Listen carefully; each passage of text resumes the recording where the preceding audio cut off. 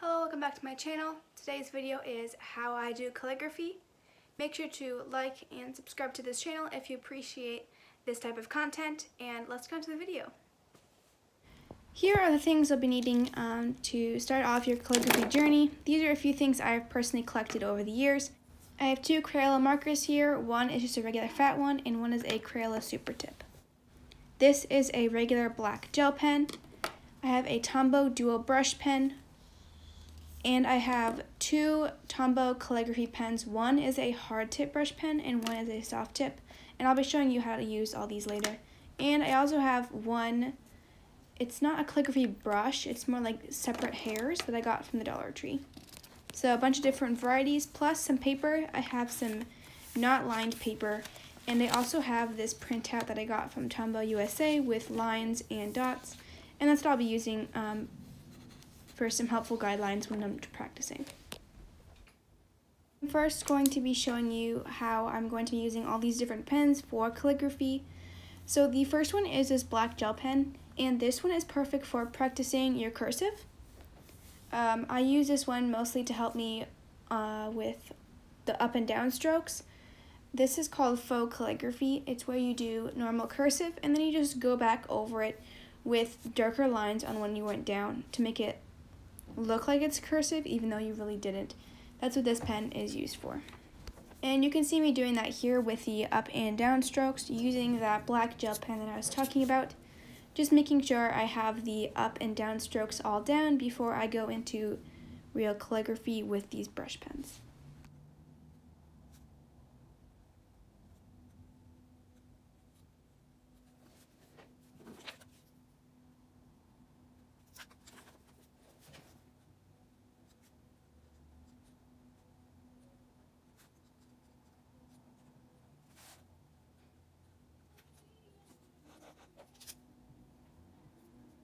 Now I'm going in with that thick uh, Crayola marker. Here I'm going to be showing you the tip of it. It is uh, a very thick cone and that kind of was what makes it nice for specifically calligraphy. This marker was a bit dried out so it was a little hard to use but you can kind of see what I'm doing here with the up and down strokes making sure that the down strokes are thick and the up strokes are thin using this marker. For this marker specifically, you really have to press down to get that shape that you want. I will say that it ruins these markers a bit, but these are kind of like the family coloring book markers for all my siblings, so it'll be fine.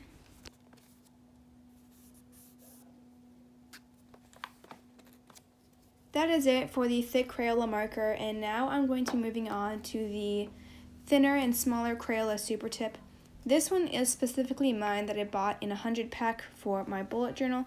I use this for their color variety, but I've also found that these are like a great source for doing calligraphy. And these ones are a lot easier than the thicker ones to do the calligraphy with the up and down strokes. It's smoother and this one had more ink because it's newer and I like these ones better. This makes a smaller calligraphy font than the one above, so if you're looking for different varieties as thick or bigger calligraphy and smaller calligraphy goes. Uh, the smaller ones are for the smaller calligraphy.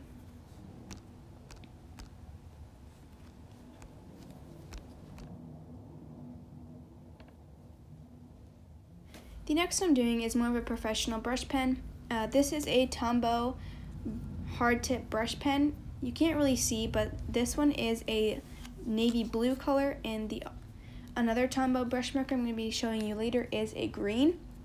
When you're writing with a difference between these, uh, the blue one is really hard and that makes it easier to control, but it also makes it harder if you're looking for a bigger calligraphy. That's why I normally use those for my weekly spreads, as you'll see later in the video, or I will, yeah, smaller calligraphy. So this one is perfect if you really want to have that small font uh, for your bullet journal or for other needs. This brush pen is known throughout the bullet journal community as being a really good brush pen, but for me it's a bit too hard and I prefer the soft tipped ones or there's a really cool Tombow brush pen that's dual ended and that one has a really good black calligraphy pen that I appreciate more than this pen. Again, because it's so hard and it is like almost the same hardness as these Crayola thick markers.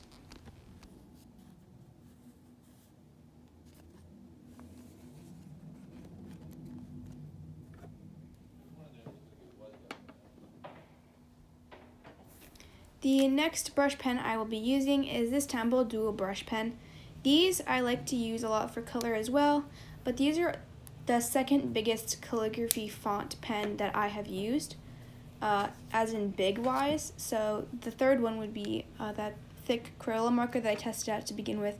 So these ones take up a lot of room, but I think that they are the perfect hardness and softness once you keep on writing with them, they turn softer and softer, and it makes it so much easier for your spreads, and I really like how these ones write.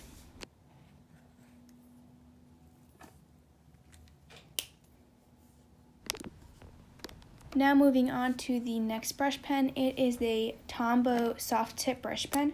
But I quickly wanted to show you kind of the difference between the hard tip and the soft tip. Um, again, it's kind of hard to see here. I tried the, the top one is the hard tip and the bottom one is the soft tip. I was just kind of trying to show you the difference between them because they write like totally different, even though the outsides are the same. So here is how much more flexible it is than the other one. Just testing it out again. This one uh, was bigger than the other one, and I appreciate this one a lot more. This I prefer using for my weekly spreads. It's another one of those smaller ones, but like could be used for bigger ones if you really slow down and then we'll move on to the last marker.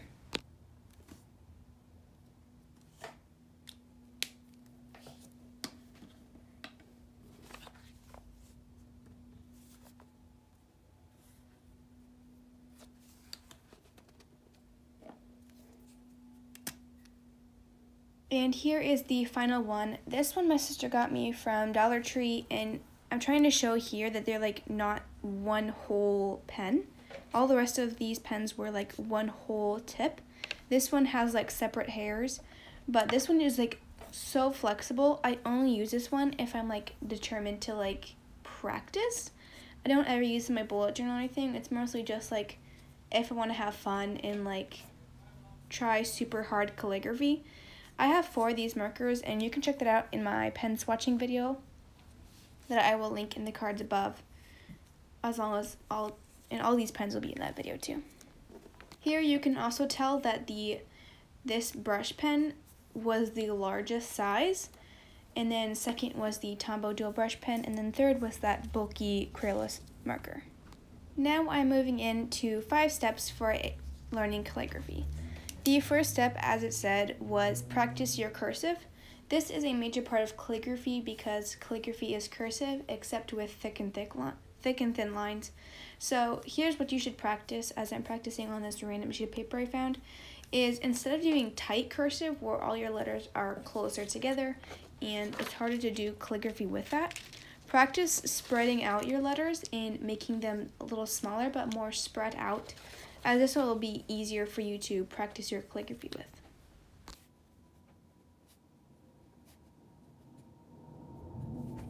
And now after this, I am going into the second step, which says practice your up and down strokes. Here I am going on the Tombow USA website. They have some printables that I ended up using that I showed you at the beginning, and so this is how you get to them. I just typed in uh, the Tombow online lettering worksheets, and up popped a website these do come with the whole alphabet if you wanted to print all those out to practice all your letters. But all I wanted was the dotted lined pages, so I ended up just printing the top one. I just ended up printing the first page, or no, the second page twice.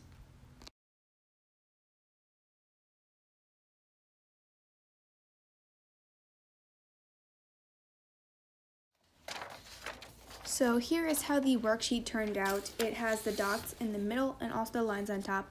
A lot of the time, if you don't have a printer or something, just um, copy this on paper. You can use any markers you have and just use a ruler to make them. Uh, so here I am starting off with the thick Crayola Super Tip that is harder to work with. and I ended up just practicing my ups and down strokes. So the purpose of this is to get a feel for how to do all the letters. When you go up, it should be thinner, and when you go down, it should be thicker. And I quickly wanted to add on in here that the hand position that you hold your pen in when you do calligraphy needs to be able so that the pen will be able to, you can push it down far enough that it will make a mark, and then be able to lift it so it doesn't barely make a mark. And finding the perfect hand position is kind of tricky, so obviously uh, practicing a lot will help you with this. Step three is practicing the entire alphabet. If you are going to trying to be consistently using this, practicing all the letters in the alphabet can be to your advantage, learning how all of them are shaped, and again, practicing that thick downstroke and then the thin upstrokes will help you. And I am using this whole sheet again, so that way I can get the um, spacing correctly and I didn't want them to go over the line for handwriting practice. The second to last step in practicing calligraphy is putting your words together. So when you write your words singly, it helps you with um, practicing the up and down strokes, but when you put them all together, it's really hard to do. But make sure that you're practicing, make sure that you're doing this in your free time, uh, just so it will look better and you'll get better.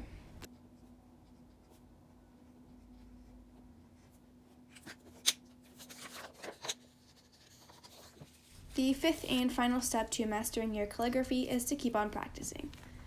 I have multiple books filled to the brim with tons of calligraphy. This is my first ever bullet journal. I will link the official flip through up above. I just wanted to show how far my calligraphy has come from when it used to be me just really struggling and not really knowing what I'm supposed to be doing.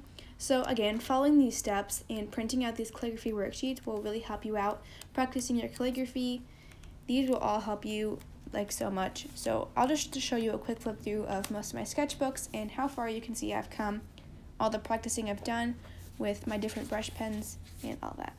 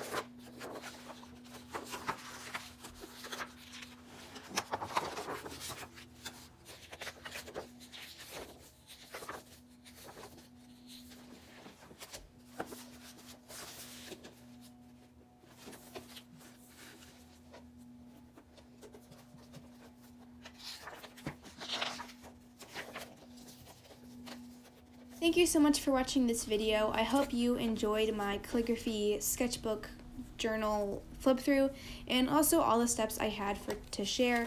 I know that there's a ton of videos out there that teach you about calligraphy, but I thought I would add in my own voice throughout um, all the YouTube voices out there.